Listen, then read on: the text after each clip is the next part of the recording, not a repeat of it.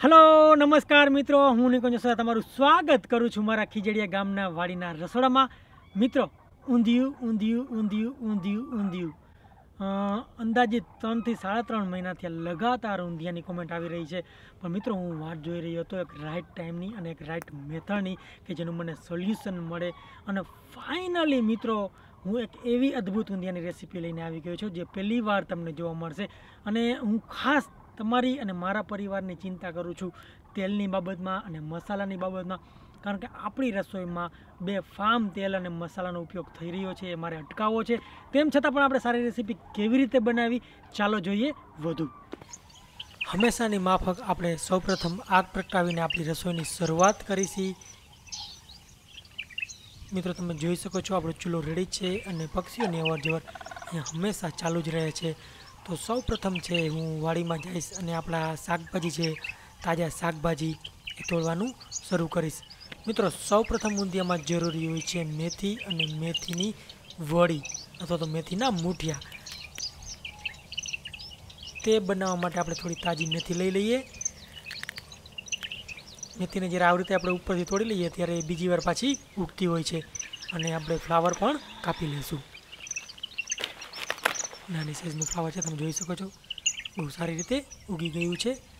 થોડા સુકેલા લાલ મરચાં પણ આપણે લઈ લઈશું આપણા વઘાર માટે.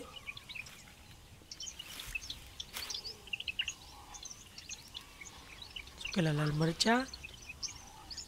અને મિત્રો, બીજી તરફ આપણે જે નાના રીંગણા છે, એ પણ હું ઊંધિયામાં નાખવા માટે લઈ લઈશ. ઊંધિયામાં નાખવા માટે નાના રીંગણા પણ તમે નાખી શકો છો. અને જો નાના રીંગણા ન હોય, તો મોટું રીંગણું બી તમે કટ કરીને નાખી શકો છો. મિત્રો, આજે હું તમને જે રીત બતાડીશ એ તદ્દન નવી છે.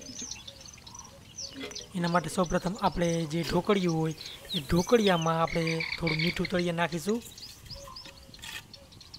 અને મીઠાને આપણે ગરમ કરવા રાખી દઈશું ટ્રે મૂકીને. પાછું ઢાંકી દઈએ. હવે મિત્રો, આપણા જે શાકભાજી છે એને સારી રીતે ધોઈ લઈશ.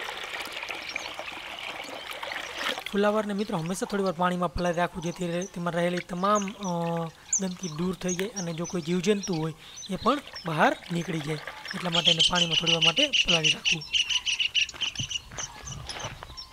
બધા શાકભાજી આપણે વ્યવસ્થિત રીતે ધોઈ લઈશું. મેથી, મરચાં, રીંગણું.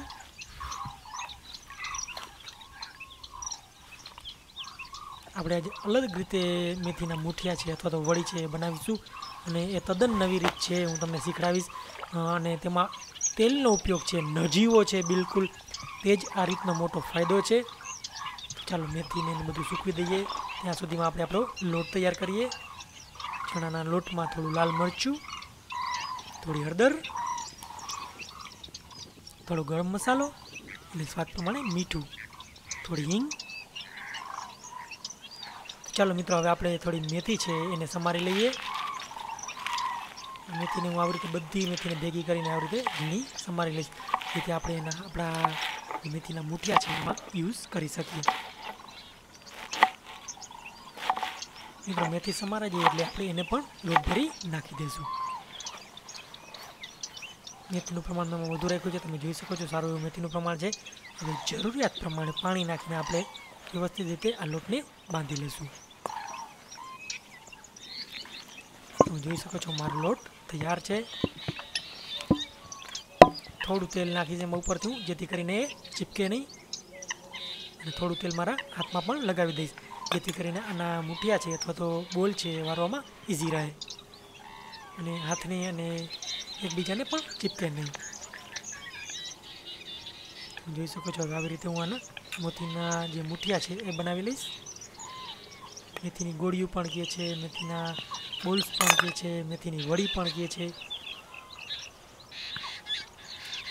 એક જ સાઈઝની આપણે વડી બનાવીશું, જેથી એને પાકવામાં ઇઝી રહે. જોઈ શકો છો, મારી બધી વડી છે, એ તૈયાર છે.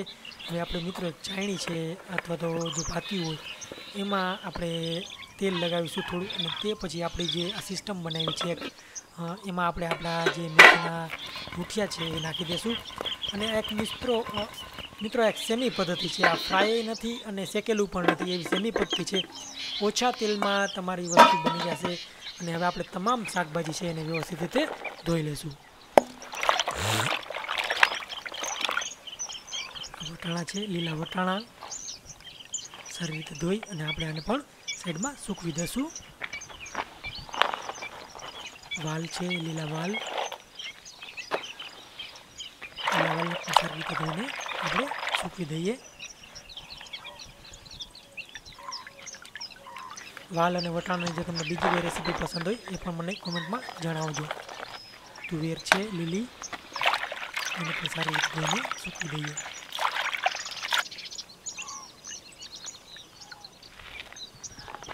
ટીંડોળા છે ટીંડોળાને પણ સારી રીતે ધોઈને સૂકવી દઈશું તમામ ગંદકી છે દૂર થઈ જાય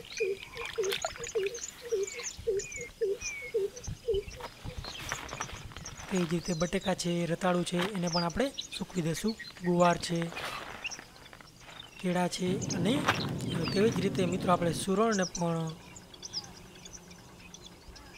મિત્રો હવે આપણે સૌપ્રથમ આપણે જે સમારવાની ચાલુ કરીશું શાકભાજી અને એમાં સૌપ્રથમ મેં રીંગણા લીધા છે.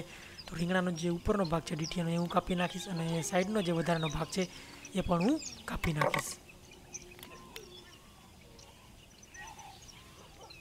અને ફુલાવરને પણ આપણે આવી રીતે કટ કરી લેશું. ટીંડોળાને પણ સમારી લેશું આવી રીતે લાંબી ચીરું. રીંગણા તૈયાર છે, ફુલાવર તૈયાર છે અને આપણા ટીંડોળા તૈયાર છે. હવે જે ફોલવાની વસ્તુ છે એની આપણે શરૂઆત કરી કરીશું. સૌ પ્રથમ આપણે જે વટાણા છે એને ફોલી લેશું. તે પછી વાલ.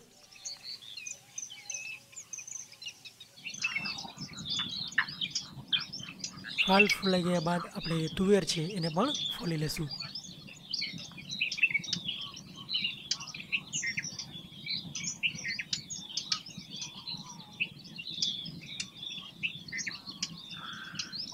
આવી રીતે નખની મદદથી ખોલવામાં ખૂબ જ ઇઝી રહે છે. ખરાબ દાણાને આપણે દૂર કરીશું અને સારા દાણા લઈ લેશું અને ગુવાર પણ આપણે કાપી લઈશું. નાનો ગુવાર હશે એનો આખો રાખીશ, બાકી બે કટકા કરી નાખીશ.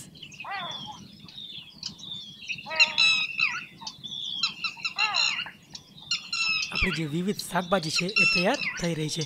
અને બીજી બાજુ હવે આપણે કેળાની પણ છાલ ઉતારીને સમારી લેશું મીડિયમ સાઇઝના કટકા કરીશું, બહુ નાના પણ નહીં અને બહુ મોટા પણ નહીં. અને બટેટાની પણ આપણે હવે છાલું ઉતારી લેશું અને આપણે એને પણ સમારી લેશું.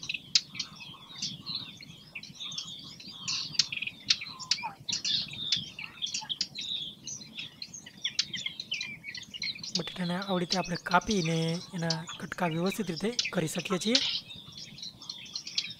તમે જોઈ શકો છો, આ ચિપ્સ ટાઈપના કટકા છે, એ મેં કર્યા છે. અને આપણે ગાજરને પણ હવે, રતાળાને પણ આવી રીતે છાલ ઉતારીને સુધારી લેશું.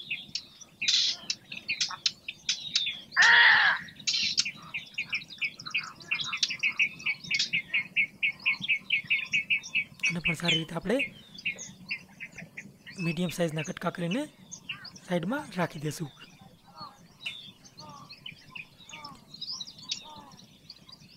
હવે તેવી જ રીતે મિત્રો આપણે સુરણને પણ આવી રીતે કાપી અને જે ખરાબ એનો ભાગ છે એ દૂર કરીશું અને એને પણ સમારી લેશું વ્યવસ્થિત રીતે.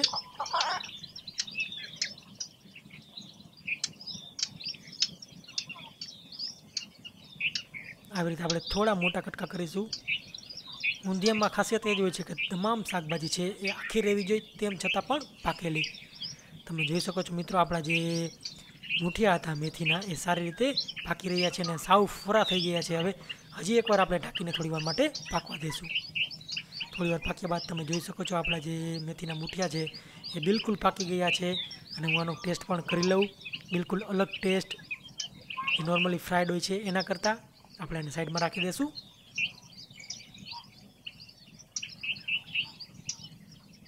હવે જે મિત્રો, અહીંયા જે ઝાડ કડક શાકભાજી છે, દાણાવાળી, એને આપણે થોડું તેલ નાખીને હું તમને એક અલગ રીત બતાડીશ. આપણે આજે તરશું પણ નહીં અને શેકશું પણ નહીં, મિત્રો. એવી એક અલગ રીત છે સેમી પદ્ધતિ છે. તો આપણે આને પણ આવી રીતે શેકવા મૂકી દઈશું આ તરેલું પણ નથી અને શેકેલું પણ નથી. ઓછા તેલમાં ફૂલ ધમાલ. આપણા રીંગણા, બટેટા અને એ બધી વસ્તુ પણ સાથે લઈને એની માટે પણ હું થોડું તેલ નાખી દઈશ. દાણાવાળી જે કડક વસ્તુ હતી મેં નીચે રાખી છે અને જે ઉપર શાકભાજી છે એ એવી છે કે ઝડપથી પાકી જાય. એને પણ આપણે તેલ લગાવીને રાખી દઈશું. તમે જોઈ શકો છો હું શાકભાજીનો કેવી રીતે ઉપયોગ કરી રહ્યો છું. આ એક મેથડ છે એનો કેવી રીતે ઉપયોગ કરી રહ્યો છું. અને મિત્રો, આ મેથડ છે ખૂબ જ ફાયદાકારક છે કારણ કે આમાં તમારો તેલનો જે ઉપયોગ છે એ પિચોતેર ટકા સુધી ઘટી જશે. અને ખૂબ જ સારી વાત છે, કારણ કે આજે લોકોની તબિયતના ઘણા પ્રોબ્લેમ આવી રહ્યા છે તેલ અને મસાલાના કારણે. તમે જોઈ શકો છો આપણે શાકભાજી બહુ જ સારી રીતે પાકી રહ્યા છે.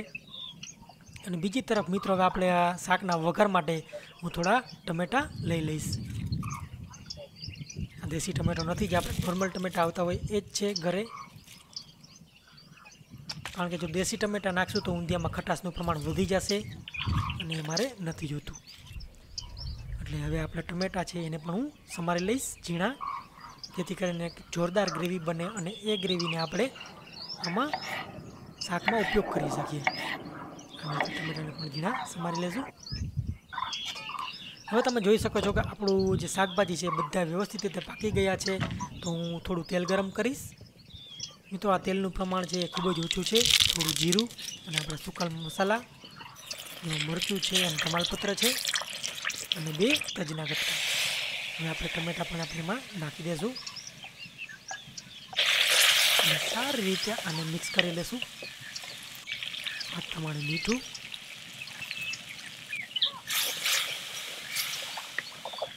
થોડી વાર ટમેટા પાકી જાય તે પછી આપણે બધા મસાલા નાખવાની શરૂઆત કરીશું. સૌપ્રથમ થોડી ખાંડ. થોડી હળદર, થોડી હિંગ,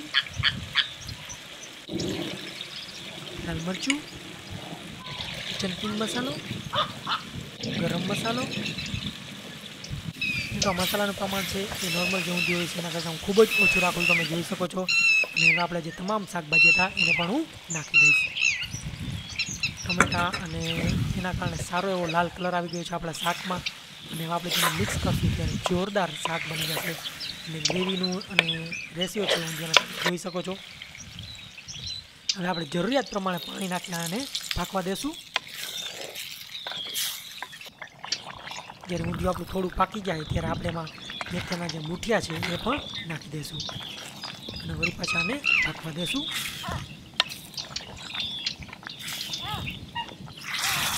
જોઈ શકો છો, ઊંધી બહુ જ સારી રીતે પાકી ગયું છે અને ગ્રેવી પણ છે, એ સારી રીતે ફોર્મ થઈ ગઈ છે.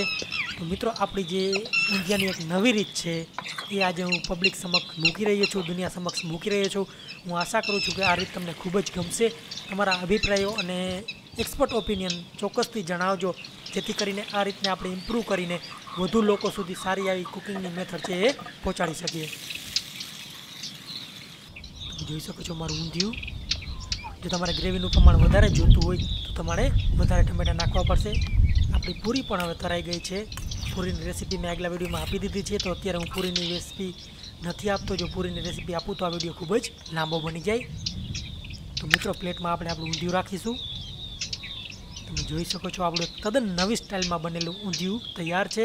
અને હવે હું એનો આનંદ માણું છું, તાજી બનેલી પૂરી સાથે. મિત્રો, હું આશા કરું છું કે આ વીડિયો તમને ગમ્યો હશે. પ્લીઝ લાઇક કરો શેર કરો અને આ વિડીયોને જલ્દીથી વોટ્સઅપમાં તમારા સગા સંબંધીઓને શેર કરી દો કારણ કે ઉત્તરાયણ આવી રહી છે. તો હું આશા કરું છું કે આજુ વખતે આ રેસીપીથી ઘણા બધા લોકોને ફાયદો થશે હેલ્થનો અને ઘણા બધા લોકોને એક નવી મેથડ મળી રહેશે કુકિંગની. તો જલ્દીથી આ વિડીયોને શેર કરી દો તમારા સગા સંબંધીઓને મિત્રોને અને તમારા ગ્રુપમાં, વોટ્સઅપ ગ્રુપમાં, ફેસબુક ગ્રુપમાં, જેથી આપણે વધુ ને વધુ લોકો સુધી આવી સારી રેસીપી છે, સારા ઉદ્દેશ્ય સાથે પહોંચાડી શકીએ. આવજો મિત્રો, ફરી મળીશું. ત્યાં સુધી જોતા રહો ઓલ ઇન્ડિયા રેસીપી ગુજરાતી. મિત્રો હેપી ઉત્તરાયણ આવજો. Thank you so much for watching ફરીથી મળીશું.